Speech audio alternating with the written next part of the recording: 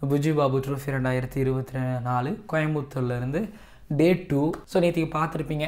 சூரியகுமார் யாதவ் கிட்ட வந்து கோயம்புத்தூர் மக்கள் செல்ஃபி எடுத்தது ஆட்டோகிராஃப் வாங்கினது. அதெல்லாம் நேற்றுக்கு மழை வர வந்தது போயிடுச்சு.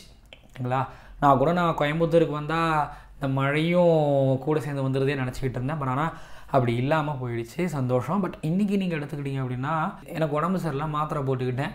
மாத்திரை போட்டவுடனே நைட்டு சீக்கிரமாக தான் தூங்கினேன். ஆனால் சீக்கிரம் எழுந்திரிச்சிட்டு ஏழரை மணிக்கு மேட்ச் ஒம்பதரை மணிக்கு நான் தங்கியிருக்கிற ரூமில் இருந்து போயிடலாம். கிரவுண்டுக்கு வந்து ஒரு ஒரு ரேப்பிடோ போட்டு போனால் ஒரு பத்து நிமிஷத்தில் போயிடலாம். சரி ஏழரை தானே அப்படின்னு லைட்டாக அப்படி கண்ணை மூடுவோம். ஏன்னா லைட்டாக உடம்பு சரியில்லை. ஆனால் அந்த மாத்திரை டோசேஜ் குறையல போல். அதிகமாக இருந்துருக்கு நான் படுத்து தூங்கிட்டேன். ஏந்திரிச்சு பார்த்தா மணி ஒம்போதே முக்கா. ஐயோ அப்படின்னு திரும்பி குளிச்சு முடிச்சு ஏந்திரிச்சு போகிறதுக்குள்ள மணி பத்தரை ஆயிடுச்சு இங்கேருந்து போகிறதுக்குள்ளே ஏன்னா இடையில வந்து பார்த்தீங்கன்னா டேப்லெட் தீர்ந்தது டேப்லெட் வாங்கிட்டு நான் இங்கேருந்து ரேப்பிடாக போட்டு போயிட்டேன். அங்கே பார்த்தா ஒரு பக்கம் அஜித்ராம் நின்று சும்மா விளையாண்டு செம்மையாக ஆடி ஒரு பக்கம் சூரியகுமார் யாதவ் கண்ணில் விரலை விட்டு மும்பை மும்பையோட பவுலர்ஸோட கண்ணில் விரலை விட்டு ஒரு சூப்பரான ஒரு ஃபிஃப்டி ஒன்று அடித்தார் இப்போ நீங்கள் அதை பார்க்க போகிறீங்க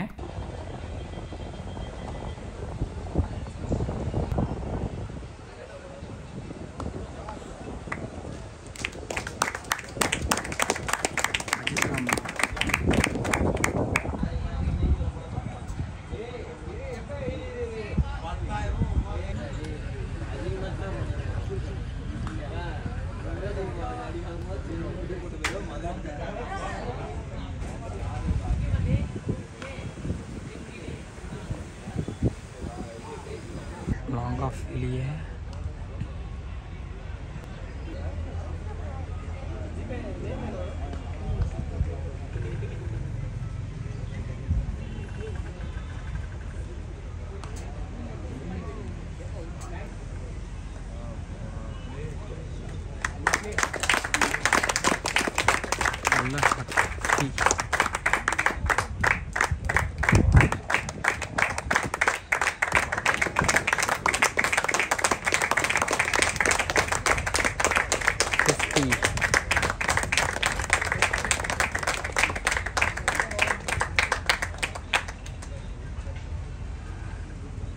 பார்த்தீங்களா? இதில் முக்கியமான விஷயம் என்னென்னா சூரியகுமார் யாதவ் தான் இன்றைக்கி லீட் பண்ணார் மும்பை டீமை சர்ஃப்ராஸ் கானுக்கு உடம்பு சரியில்லையா? அதனால் சர்ஃப்ரா சர்ஃப்ராஸ் கான் பேட்டிங்கும் வரல. என்ன சொல்லியிருந்தாங்க அப்படின்னா அஞ்சு விக்கெட் போனதுக்கப்புறம் அவர் பேட்டிங் பண்ணலாம். ஏன்னா இன்றைக்கி ஃபுல்லாகவே கிட்டத்தட்ட ஒரு இன்னிங்ஸ் ஃபுல்லாகவே ஒரு ஒரு சரி ஒரு செஷன் ஃபுல்லாகவே வந்து பார்த்திங்கன்னா ஒரு ஃபீல்டிங்கில் இல்லை ஃபீல்டில் இல்லை. அதனால் வந்து பார்த்திங்க அப்படின்னா அவர் அஞ்சு விக்கெட் மேலே தான் வரலாம் அப்படிங்கிற மாதிரி இருக்கும்பொழுது அவர் வரவும் இல்லை. இன்றைக்கி சூரியகுமார் யாதவ் தான் கேப்டன்சி பண்ணார். சூரியகுமார் யாதவோட கேப்டன்சி ஸோ இந்த வீலாகில் பாருங்கள்.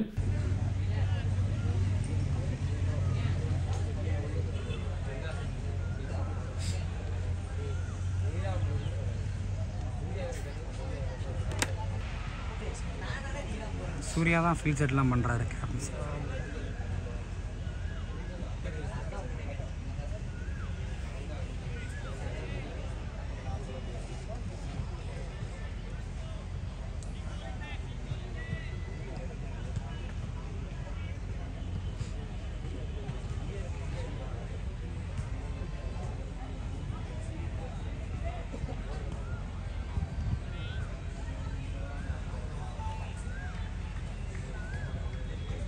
சர்ஃப்ராஸ் இல்லைல்ல சர்ஃப்ராஸ் இல்லையோ அதான் சர்ஃப்ராஸ் இல்லை சைதா ஃபில் செட் பண்ணிட்டு அவங்க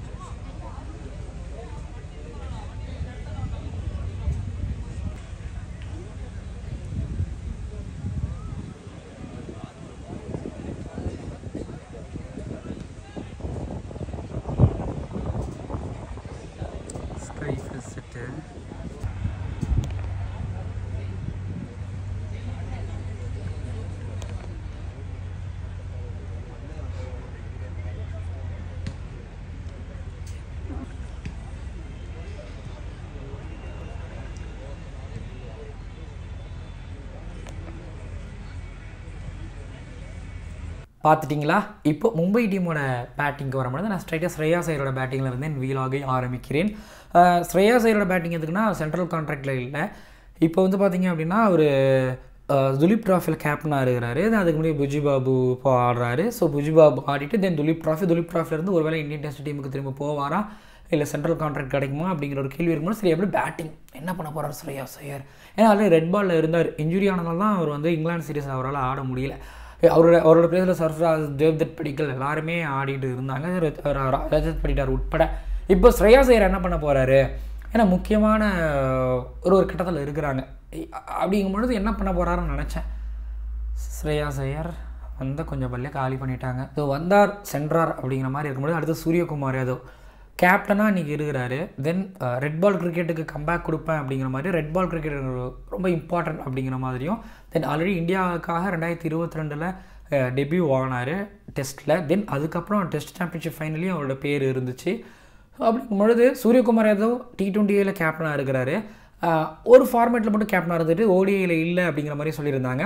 அப்போ டெஸ்ட்டுக்கு திரும்ப கம்பேக் கொடுப்பாரா அப்படிங்கிற கேள்வி இருந்துச்சு. தென் மும்பை வந்து பொஜுபாபோட அடுத்து நாக் அவுட் ஸ்டேஜுக்கு போனோன்னா ஸோ இந்த மேட்ச்சை கண்டிப்பாக ஜெயிச்சே ஆகணும். தென் ஃபஸ்ட் இன்னிங்ஸ் லீடாவது அட்லீஸ்ட் எடுத்தாகணும். ஜெயிச்சாங்கன்னா கண்டிப்பாக உள்ள.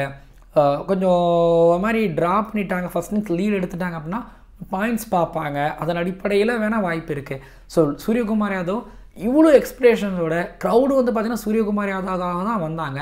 அடுத்து வரவங்க சூரியகுமார் யாதவுக்காக தான் வருவாங்க. சில பேர் ஸ்கோர் பார்த்துக்கிட்டே இருக்கும்பொழுது சூரியகுமார் பேட்டிங் சூரியகுமார் யாதவ் பேட்டிங் வந்துட்டாருன்னு ஸோ நினைக்கும் போது அப்படி உள்ள ஒரு என்ட்ரி ஆனார். என்னால் எழுத முடியல. ஸோ உள்ள ஒரு என்ட்ரி ஆனதுக்கப்புறம் அவரோட பேட்டிங் சும்மா தொம்மு திம்மு தும்முன்னு இருந்து பாருங்கள்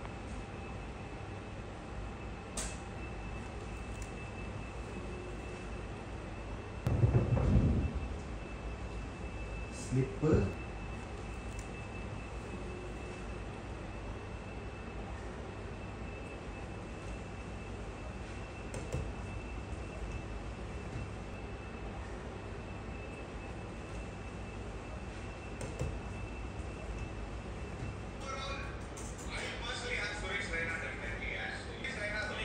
Amen.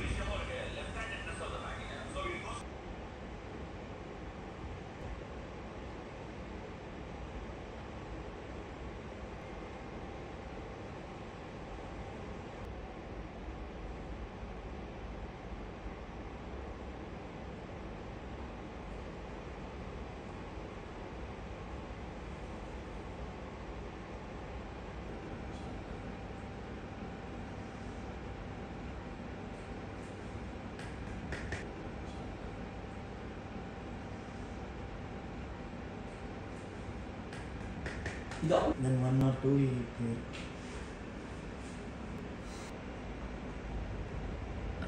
Four. Four. Right.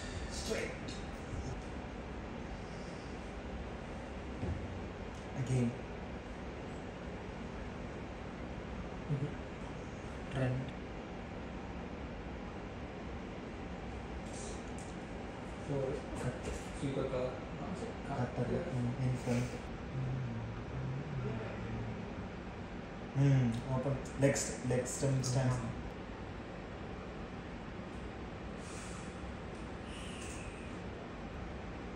இங்க டெபியூவா கோயம்புத்தூர்ல டெபியூவா ரஞ்சி அந்த ஆந்திராவோட மேட்ச் தான் Out. Oh Caught at mid on.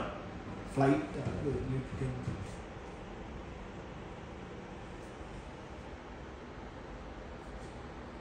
Forward problem Ajith Ram actually Ajith Ram வந்து கேள்வி கேட்ட மாதிரி இருந்தது. ஏன் துலீப் ட்ராஃபி எடுக்கல? அப்படின்னு சொல்லிட்டு ஃபிஃப்டி அடிச்சிருந்தாரா? ஃபிஃப்டி அடிச்சது மட்டும் இல்லை இப்போ சூரியகுமார் யாதவோட விக்கெட் வேற அவர் எடுத்துட்டார்.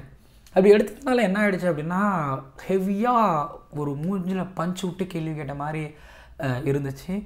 ஸோ ஆக்சுவலி இதில் சாய் கிஷோர் ஒரு பக்கம் பாலை கொடுத்தது ஒரு பக்கம் அப்படின்னா நிறைய பேர் வந்து சூரியகுமார் யாதவோட பேட்டிங் பார்க்குறதுக்காக தான் வந்தாங்க. எக்கச்சக்கமான கரோடு வந்தாங்க. நான் ஒரு எக்ஸ்பிரேஷனில் இருந்தேன். ஸோ அவரோட அது ஒரு ஒரு பர்சனாலிட்டி டிஃப்ரெண்ட் கேம் ஆனால் எப்படி இருக்கும்னு நான் நான் நான் நினச்சேன். தென் ஸ்கூலில் இருக்கிற பசங்க காசு அரக் ரோஸ் போட்டுக்கலாம் வந்து சைடில் உட்காந்துக்கிட்டாங்க பவுண்டரியில் எனக்கு அந்த பக்கம் உட்காந்துட்டு பார்த்தாங்க. நிறைய பேர் சூரியகுமார் யாதவோட பேட்டிங் பார்க்கறதுக்காக ஸோ வர்றதுக்கு பிளானில் இருந்தாங்க. பட் எல்லாத்தையும் ஸ்பாயில் பண்ணிட்டாரு. இந்த மேட்ச்சு ஒருவேளை தமிழ்நாடு ஜெயிக்கிறாங்கன்னா இந்த விக்கெட் இறங்குறது வந்து ரொம்ப ஒரு முக்கியமான ஒரு விக்கெட்டாக இருக்கும். பட் ஆனால் அஜித் ராம் எல்லாத்தையும் ஸ்பாயில் பண்ணிட்டார். மொத்தமாக ஸ்பாயில் பண்ணிட்டார். சூரியகுமார் யாதவ் செம்மையாக அச்சுத் அடித்து ஆடிக்கிட்டு இருந்தார். தென் கம்ஃபர்டபுளாக ஆடிக்கிட்டு இருந்தார்.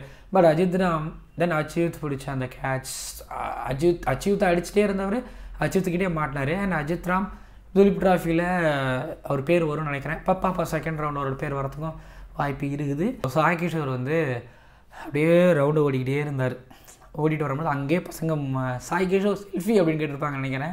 கூட பூபதியும் அச்சுவித்தும் அவங்களுக்கு தெரில டிஎன்பியில் பார்த்துருந்தாங்கன்னா பூபதி அவங்களுக்கு தெரிஞ்சிருந்திருக்கும். ஆனால் என்ன பண்ணுறது பசங்களுக்கு தெரில அப்படியே கோடை வந்து பார்த்திங்க அப்படின்னா அப்படி ஓடிட்டே இருந்தவர் சாகிஷோர் வளர்ச்சி பிடிச்சி விட்டாங்க பூபதியும் அச்சுத்தும் போயிட்டாங்க.